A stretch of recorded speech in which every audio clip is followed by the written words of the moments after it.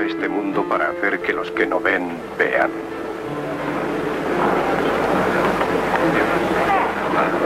Y que aquellos que se ufanan de ver se vuelvan ciegos. ¿Qué quieres decir con eso? ¿Que también nosotros somos ciegos?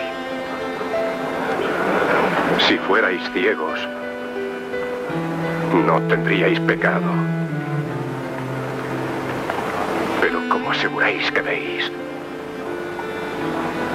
vuestro pecado permanece. Sí, dice verdad. ¡Falsos e hipócritas! ¡El maestro de este hombre trabaja en favor del demonio! ¡Es embustero! ¡Fanático loco! ¡Ay de vosotros, escribas y fariseos! ¡Hipócritas todos! Que cerráis a los hombres el reino de los cielos. Ni entráis vosotros, ni dejáis entrar a los demás. ¡Guías ciegos! Que coláis un mosquito y os tragáis un cabello.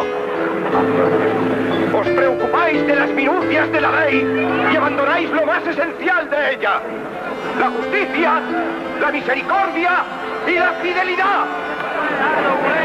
Sois semejantes a sepulcros blanqueados, hermosos y limpios por fuera, mas por dentro están llenos de huesos de muertos y de podredumbre.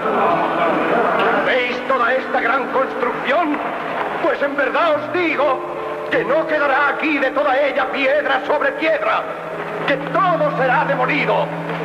Vuestra casa será una casa desierta y desolada, donde solo tendrán su hogar el lagarto y la araña.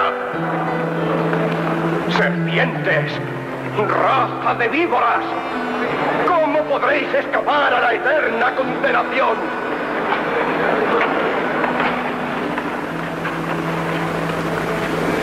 No volveréis a verme más hasta que todos vosotros digáis, bendito sea el que viene en el nombre del Señor, porque yo y mi Padre somos una sola cosa.